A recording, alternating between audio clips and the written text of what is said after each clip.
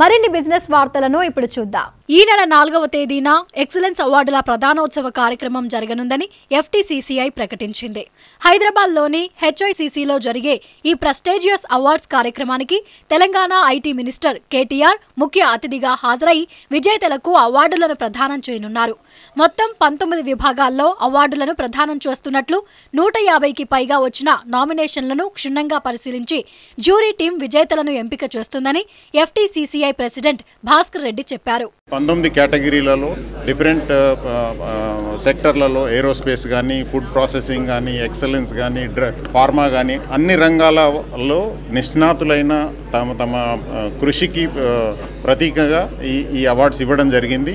ఈ అవార్డ్స్ నాలుగవ తారీఖు నాడు జూలై నాలుగు నాడు హెచ్ఐసిసిలో మన municipal administration and IT and industries minister KT Rama Rao గారి చేతుల మీదుగా ఈ పంతొమ్మిది మందికి ఈ అవార్డ్స్ ఇవ్వడం జరుగుతుంది.